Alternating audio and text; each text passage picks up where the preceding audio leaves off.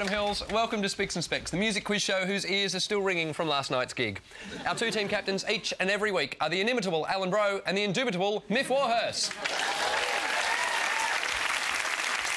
Alan's first guest tonight plays drums, vibraphone and keyboards, has written music for TV and film and has performed with the Moodists, the Coral Snakes, the Dave Graney Show and is currently in the Lurid Yellow Mist. Please welcome Clare Moore. Alan's second team member tonight is a comedian and actor who starred in the hit film Kenny and made his debut this year in a stage musical. He's gone from toilet rolls to guys and dolls. Here's Shane Jacobson. Myf's first guest tonight hosted the ABC TV series Flashez, had hits with the songs Touch Me, Love Fever and Gloria, has performed alongside Stevie Wonder and once had morning tea at Michael Jackson's house. Please welcome to the show Ray Burgess.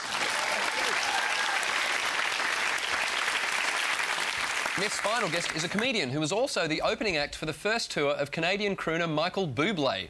Uh, sadly, she was rejected from the second tour when she suggested it should be called Show Us Your Bublés. Please welcome Meshel Laurie.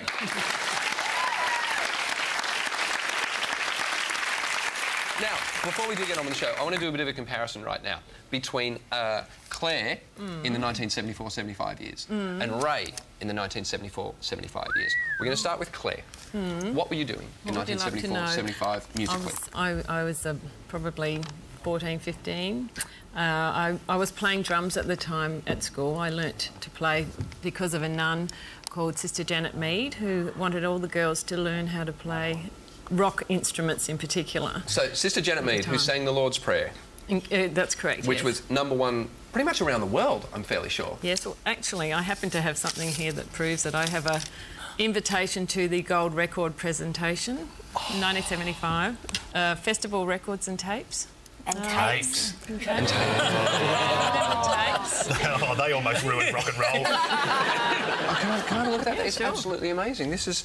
Oh, and look at this. Sister Janet's new LP, A Rock Mass, will be previewed to those present. So those no, Myf, not the. rock mass. I'm just wondering what a roadie at a rock mass is like. do they have really? Do they have their cassocks really high so when they bend over you can see a bit of holy crack? They go in the back for communion and go, the wine and the bread's gone. Out in the truck. On the, This stuff sticks to the roof here, man. So, Clare, 74 75, playing with Sister Janet Mead. Uh, let's have a look at Ray from 74 75, appearing on what I believe is the first colour episode ever of Countdown. I want that jacket. Just watch the hands of the kids here.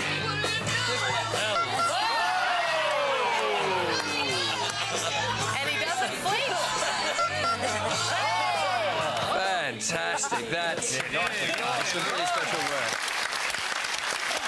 In this very studio. No offence, but you'd pay good money to be touched like that now, wouldn't you? All right, our first game tonight is called Know Your Product. Your choices tonight are the years 1957, 1967, 1977, nice. and 1987. Uh, Alan can pick the first topic tonight. Well, I had a computer like that, so 1977. Good enough reason, Myf? Um, 1967? Yeah. Yes. Cool. Okie dokes. Uh, we'll start with 1977. Everyone on your buzzers? Let's play Spicks and Specks. Your first question for one point. In 1977, which Aussie rock band toured the US on the back of their classic album Let There Be Rock? yes. ACDC. It was. ACDC. Well done. Next question worth two points. At the height of disco, the Saturday Night Fever soundtrack was released. Name two songs from the soundtrack not... Oh, But not in English. Sorry.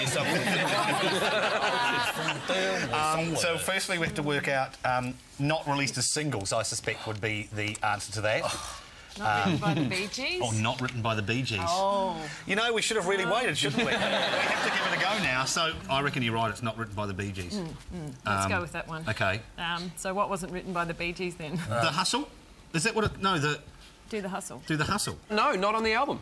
Oh, okay, not on the album. Yeah, and we know that. We're just going through songs Yeah. that Okay, aren't yep, on the album. cool. So now, I'll give the you one more guess and then I'll throw it over to the other side. Not this And guy. Staying no, no, Alive. Um, staying alive. St- Yeah, so let's go that was- staying alive to get one. No, it wasn't Staying Alive, so I'm going to open it up to this side. The rest of the Oh. question was uh, name two songs from the soundtrack uh, not recorded by the Bee Gees. Oh. So you're on the right track. Um, Walter Murphy, Fifth of Beethoven.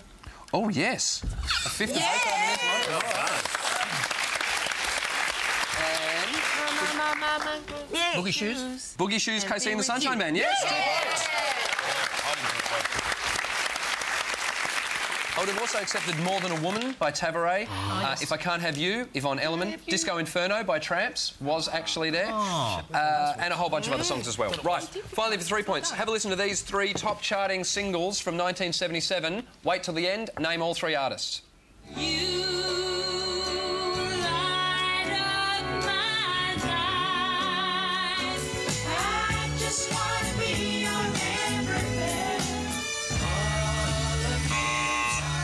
Yes. Wings. Wings, Mull of Kintyre. Yes. Debby Boone. You Debby light Boone. Debby Boone. life. you light up my life. And the Bee Gees. No. What? Wasn't the Bee Gees in the middle? Someone on this side want to have a go? Andy Gibb. It was Andy Gibb. Well done. Paul McCartney had so many massive hits, including Mull of Kintyre, uh, that the Guinness Book of World Records basically invented a new award for him. After gold, silver, and platinum, he had so many that they actually presented him with a rhodium disc, which is a metal that's even more precious than gold, silver, or platinum. Oh, wow. How's that? Well, the, yeah, the Guinness Book of Records invented how many pegs can you put on your face as well. Good point. They're not picky. Yeah. Well, there they are, because he's that guy who ate an airplane. That's true. Yeah, bit by bit. Oh, yes. And he does. He now does ads for um, toothpaste for sensitive teeth. Did he eat the whole thing? Yeah, an entire airplane has been through him. He's an idiot. And hopefully it wasn't a Qantas plane because they are hugely irregular and he probably hasn't been to the toilet for about 10 years. So, you know, if there are people from the Guinness Book of World Records, we do like what you did. Yes, creating rhodium for Paul McCartney. And uh, a similar occurrence took place for Rob Millsy Mills's latest album, which I believe went carpet. On to 1967, your first question for one point. Uh, in 1967, the Easybeats reached number 16 in the US and number 5 in the UK with which song? Yes. Friday. Friday on my mind. Friday on My Mind it is, for two points. In 1967 as well, The Doors famously performed Light My Fire on The Ed Sullivan Show. He said, but couldn't get much higher, even Yep. though he was told he couldn't sing those lyrics. The rest of the question was, what word were they asked to change and what did they change it to? And you answered them both. Two points. Finally, for three points, in 1967, the Beatles released their eighth album, Sgt. Pepper's Lonely Hearts Club Band. For three points, name three of the non-Beatles featured on the cover of the album. Oh. Yes. Uh, Jimi Hendrix. Uh, no, I can't find Jimi Hendrix here. Starlin? Uh, no. Do you want to have a third guess? Marilyn Monroe. Oh, Marilyn Monroe. Uh, yes, Marilyn Monroe is in there, which means I'll throw the other two over to this side. Uh, Karl Marx. Yes, Karl Marx. Excellent. Um, Gandhi. No, Gandhi's not here either. The other people featured include Bob Dylan, Mae West, Lenny Bruce, Dylan Thomas, W.C. Fields, and a whole bunch of others. That's one point each. Now, while we're talking album covers, very excited to have Ray here for a number of reasons. Uh, one of which is I can now tick your name off the list of names on my uh, Ripper That's a Ripper 77. uh, Ripper 75. Oh. Uh, let's see, we've had uh, Sherbet and therefore Daryl Braithwaite. Uh, we've had Status Quo, Jon English, uh, Richard Clapton. I can now tick off uh, Ray Burgess as well. Still alive and kicking. Did you all get to write your own names on there? Did they just wheel some mole in and you all just... Is that how that worked? No, Bring in the mole. that was actually, I think, the first one of those type of compilations that came out. Right. And it sold something like 400,000 copies at the time, which was unheard of.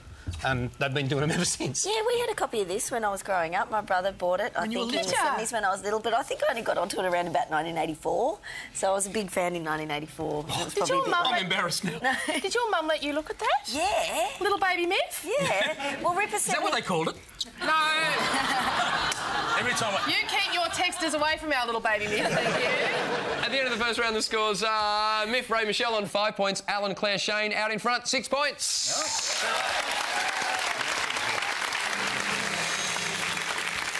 Each team will be given three artists and three interesting facts. You have to match the artist to the fact. Uh, Alan, Clare, and Shane, your stars are 80s pop sensation and American Idol judge Paula Abdul, one half of 60s duo Sonny and Cher, Sonny Bono, And 90s one hit wonder, the man who sang Ice Ice Baby, Vanilla Ice. You have to match them to their religions, which are born again Christian, Judaism, and Scientology.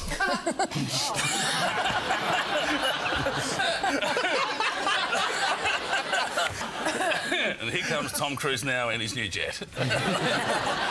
Um, uh, look, Paula Abdul's really tiny, isn't she? Yeah, she is. Five foot two or something like that. Mm-hmm. I th- mm-hmm. so I think she's going to be a Scientologist. They all Yes, I think so. Well, they're all really little. they've got to fit okay, in well, that they're not all really little. Okay, I'm generalising Bono's here. little, Easy to though. move in this- Sonny Bono is little. But mm. she's probably really rich. You have to be rich, don't you? To be a Scientologist? Mm. Yeah, I think so, because fuel for UFOs is just astronomical prices. Sonny Bono could... His, his name could have been... Bon, Bonovsky. Bonovsky or something like that, so he, he could he could also be a Scientologist. I think Paula Abdul would be Scientology. I think so, because it's incredibly Don't think? famous. Uh, they tend to be Very find comfort there. famous. Sonny and um, Vanilla, I don't think. I don't think they would be. Um, Well, I think Vanilla I think Ice Sonny is... Bono would be uh, Jewish. Okay. Yeah, and that makes Vanilla Ice born, born again. again Christian. I can tell you, you've got one out of three. Oh, okay. Okay, now I know exactly what's wrong here. Paula Abdul is a Scientologist, Vanilla Ice is a Scientologist, and Sonny Bono is a Scientologist. The correct answers are Paula Abdul is Jewish. oh! Sonny Bono was a Scientologist. Oh. Uh, and Vanilla Ice is a born again Christian. One point out of the three. Well done. Myf, Ray and Meshel, your artists are uh, the king of rock and roll who died on a toilet, Elvis. The man who got dumped by Britney Spears and thanks his lucky stars on a daily basis, Justin Timberlake. and the everlasting folk singer who became electric, Bob Dylan. You have to match them to the items of theirs being offered up on eBay, oh. which are a high school yearbook, a tooth, Oh. and uneaten French toast. Oh. Well, clearly, if the toast was Elvis's, it wouldn't actually be there anymore because he would have eaten it. I'm fairly certain. So, so I, I reckon toast rounds out, you know, takes out Elvis. I reckon it's JT's toast. Yeah, recent. Yes, that's the sort of thing teenage girls will pinch off a table in a cafe and. Yep. Um, Elvis's. A high school yearbook, but surely that'd be in the, you know, in Graceland on display. so, wouldn't you? Like that sort of stuff wouldn't be up on it. Did eBay. he go to high school? I don't know. Yeah, every day left class there was an announcement. Elvis had left the school. Hey. Wouldn't that be awesome if you like swanning into grade nine? so. Wouldn't that be cool. Okay, we'll go JT Toast, Bob Dylan's Tooth. Are we happy with Elvis's high school yearbook? Happy enough, babe. all right, uh, just like Alan's team, you ended up with one correct. Uh, Elvis's tooth is available online. The half-eaten plate of French toast did belong to Justin Timberlake, so you got that correct. Right. You can buy Bob Dylan's high school yearbook. Oh. Ah, that is the one that is uh, also up there on eBay. So uh, one point for Myf's team. Well done.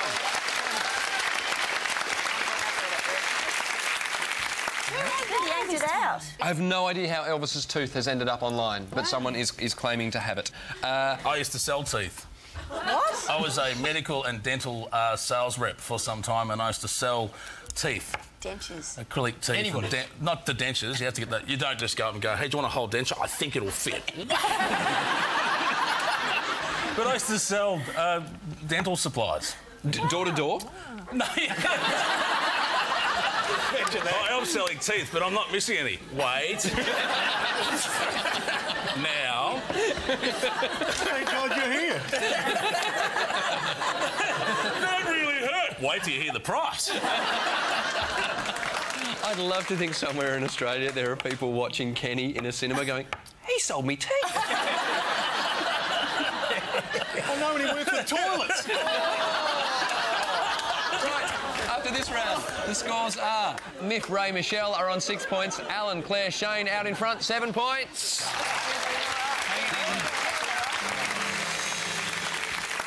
Each team will hear short snippets of songs. Without taking notes, you have to identify as many of those songs as you can. Alan, Clare, and Shane are up first. Listen carefully. Here are your song snippets.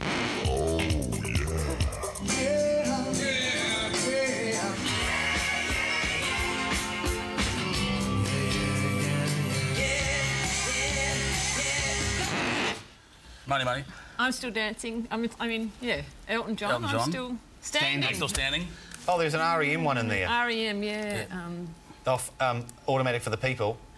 Wow, it's like knowing everything around the answer. and yet the answer is still shrouded in mystery for me. Um, and there was the. Man in the Moon. Man in the Moon. Nice work. And there was the. Oh yeah, bow, bow. Is that is that out of um, risky business? Is that the one? You actually said the name of it, so I'm going to accept that. Oh yeah. By Yello. Again, you just, did it again. you just can't stop yourself now. Uh, and there was one other song in there that I haven't heard the title of yet. I don't think you will hear the title of it, to be perfectly honest. Anyone on this side? Um, no, we. All right, let's have a listen back to them. It was Oh Yeah by Yello. Bring it on home to me, Sam Cooke. I'm still standing, Elton John. Man on the Moon, REM. Mony Mony, that was a Billy Idol version. Four points to Alan, Clare and Shane. Myf Ray Meshel, here are your five songs.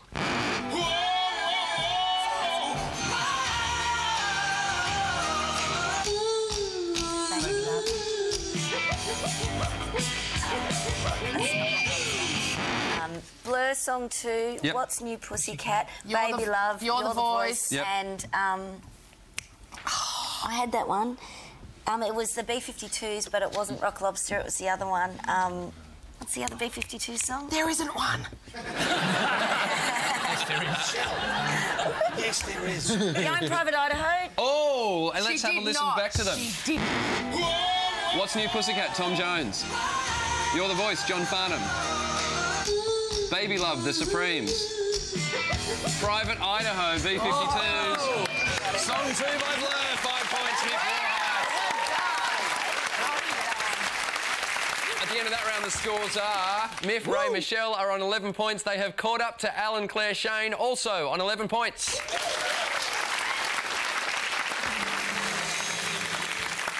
One member of each team will be singing well-known songs using the words of an unrelated piece of text. Your teammates have to identify the songs. Clare will be singing first for Alan and Shane, and you'll be taking your lyrics from My Steve by Terri Irwin. Uh, those are your songs. Don't show your teammates, ladies and gentlemen. Clare Moore.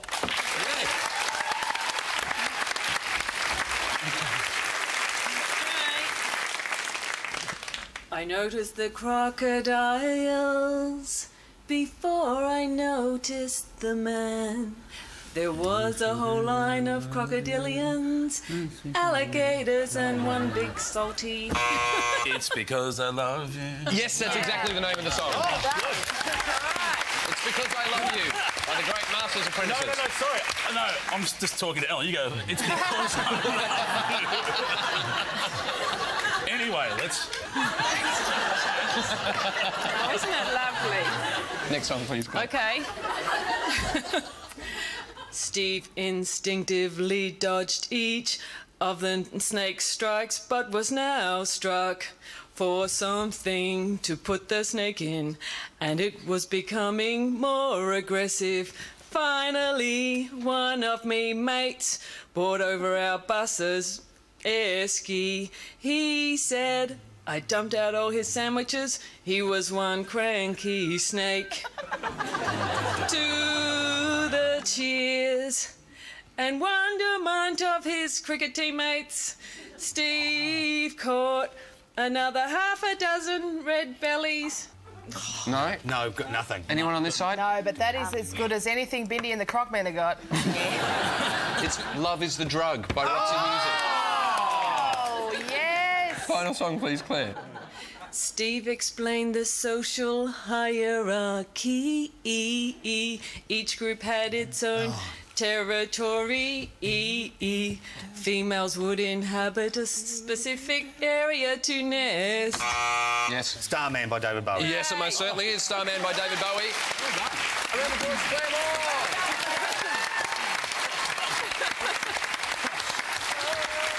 Great stuff. Oh, and look, before we go on with the show, you told us that you you did a, uh, like played a gig on the Cocos Well, Islands. yes, we were invited to play on the Cocos Islands, which is like six hours out into the Indian Ocean from Perth. Yep. And it was a beautiful place, very lovely. And uh, we played to um, 120 people at their food and wine festival. How many people on the Cocos Islands? It's 120. I don't reckon we've ever had anyone on the show that has had the entire population of somewhere come to their gig. There you go. yes, we're very proud of that. Yeah. Indeed. And apparently, uh, Spicks and Specks is played on the Cocos Islands. Oh yes, yes, they do get it. They get Channel Two over there, and uh, SBS Channel Two. Oh, sorry, I should have mentioned. Oh no, it's- we, we, we know there are other networks. Oh.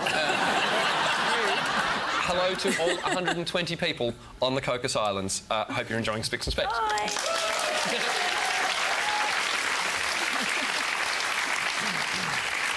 Uh, Ray, you'll be singing for Myf and Meshel. Come on, Ray. And you'll be taking your lyrics from Arnold's Fitness for Kids Oh, whoopie do. by Arnold Oh, Schwarzenegger with Charles Gaines. Ladies and gentlemen, Ray oh, Burgess. Now,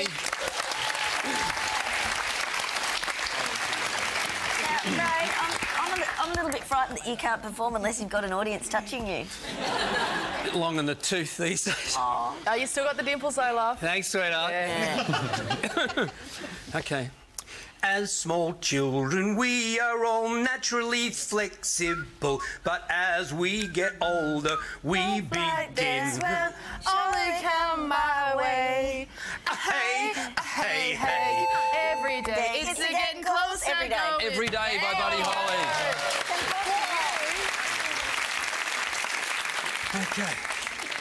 Lay an eight foot long two by four inch plank out on the ground or the floor and practice walking it and placing it foot directly in front of the other without coming off the plank. Then practice walking the plank sideways by crossing one foot over the other. Oh, it's Mac tonight. Make the knife. Make the knife. What It's not Mac the Knife, no. Oh. This side. Don't you rain on my parade? Don't rain on my parade. Barbra Streisand, well poached. Well done. All right, uh, final song, please, Ray. Kids who are physical fit at the lower risk for disease, such as intestinal disease, ulcers, yes, and high stress kids get ulcers. Kids who are physically fit are at a lower risk for diseases, which is the leading cause of death and disability. Something tells me. I'm yes. I'm into something good by Herman's Hermits. Ladies and gentlemen, Ray Burgess. At the end of that round, the scores are Mick, Ray, Meshel are on 13 points, one point behind Alan, Clare, Shane, 14 points. All right, it's time for the final countdown. Teams, hands on your buzzers. One point for a correct answer, one point off for a wrong answer. Your questions start now. Which ABBA album features a helicopter? Arrival. Uh, Arrival it is, Myf. Complete this album title. Whatever people say I am. Yes? That's what I'm not. Uh, by the Arctic Monkeys. Oh, well done, ah. Myf. Have a listen to this. Name the song. Yes. Know who you are. It's Feist and Yeah. one, two, three, four. One, two, three, four by Feist. Who had the 1964 hit Ferry Cross the Mersey? Gerry. Yes. Gerry and the Pacemaker. Gerry and the Pacemakers. What was Hungarian composer Bartok's first name? Béla. Béla. It was. Nice work, Myf. Green Gartside was the lead singer. Yes? Scritti Politti. Oh my God, yes. Who was the first woman to shoot a Rolling Stone magazine cover? Um, um, Paul Lin- McCartney. Linda McCartney. Linda McCartney. Linda Eastman, uh, but she Linda became Eastman. Linda McCartney. I'll give you that. Linda McCartney knew Eastman. Eastman.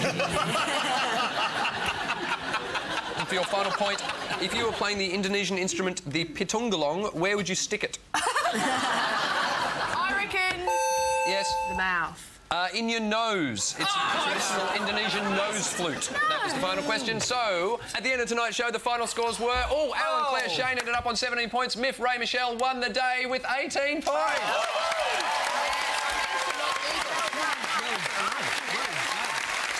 Would you please thank all our guests for tonight? Clare Moore, Shane Jacobson, Ray Burgess and Meshel Laurie.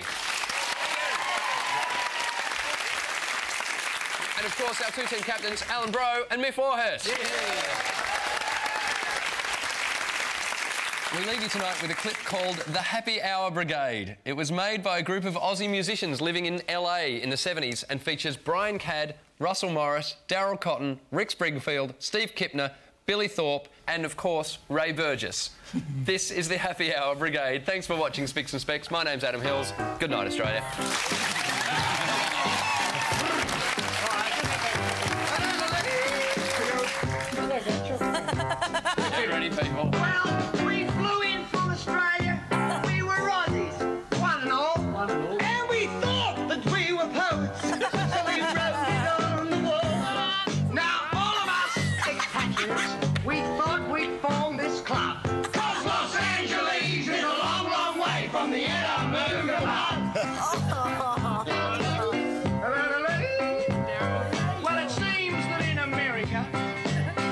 for.